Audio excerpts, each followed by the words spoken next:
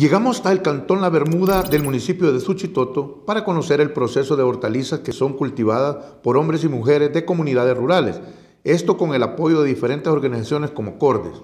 Cordes pues tiene diferentes iniciativas productivas que nos ayudan a generar ingresos para las familias rurales, así como también a producir este, los recursos que luego llegan a las, a las mujeres beneficiarias de los proyectos. Las organizaciones de apoyo comunitario buscan que las familias aprendan las diferentes técnicas de cultivo y crianza de gallinas para que en un futuro puedan convertirse en emprendedores.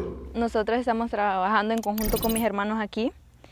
Eh, ellos están aquí trabajando. Ya cuando el producto se da, nosotros lo que hacemos es distribuirlo, lo, distribuimos a las diferentes comunidades de aquí cercanas.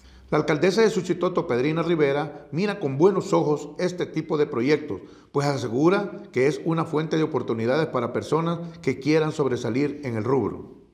Son varias comunidades las que se han beneficiado con estos proyectos productivos. También se contribuye a la seguridad alimentaria de las de las familias. Otro proyecto similar se desarrolla en el cantón Los Enríquez, en donde se benefician alrededor de 12 familias.